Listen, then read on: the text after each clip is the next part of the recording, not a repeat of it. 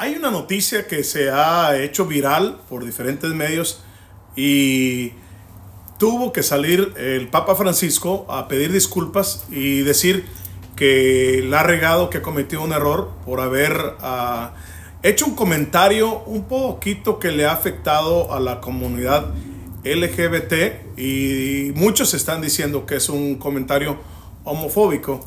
Y automáticamente el Papa Francisco ha salido a pedir disculpas públicamente y ha dicho que de alguna manera se equivocó. Y creo que esto es lo más bonito de, de, de los seres humanos, uh, el poder aceptar cuando la regamos, el poder decir, ¿sabes qué? A lo mejor lo pensé o fue una... Porque dijo una frase, no la quiero decir, uh, una frase que automáticamente la tomaron como un insulto y que es una palabra que está insultando, a, que suena homofóbica. Y muchas organizaciones que apoyan a, a, lo que es el grupo LGBT están diciendo que la regó el Papa, pero el Papa salió a pedir disculpas, dijo que eh, fue un comentario mal dado, que eh, lo disculparan y que no, no debió de haber hecho ese comentario.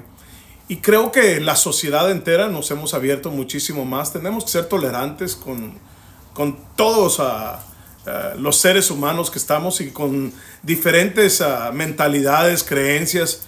Creo que tenemos que ser un poquito más abiertos en general. No podemos cerrarnos tanto. Si yo la verdad creo que las la religiones tienen que ser un poquito más tolerantes y el mundo que vivimos es una realidad y no lo podemos cambiar. Obviamente tiene que haber respeto y yo la verdad digo que bueno que el Papa salió a pedir una disculpa y decir que, que se equivocó.